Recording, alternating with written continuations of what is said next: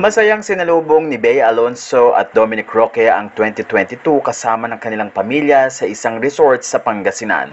Maraming netizen ang natuwa dahil very sweet ang couple at talaga namang meron pa silang live music. Maraming netizen ang natuwa dahil they are really spending the night at marami din ang natutuwa because very close ang family ni Bea Alonso. Ilan sa mga highlights ng nasabing event ay ang fireworks na kung saan ay hinihanda nga ni Bea at ni Dominic.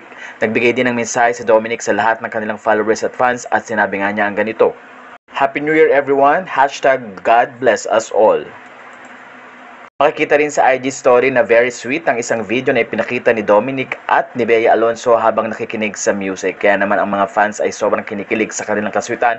At of course, nandoon din sa video ang parents ni Dominic at parents ni Bea Alonso na magkatabi pa. Kaya naman happy ang lahat dahil happy ang turnout ng bawat event at celebration na ginawa ng pamilya ni Bea at ni Dominic Roque magmula pa ng Pasko at hanggang ngayong bagong taon. Mula dito sa Pinoy Showbiz Latest, Happy New Year everyone at patuloy lang po kayong mag-subscribe sa aming channel.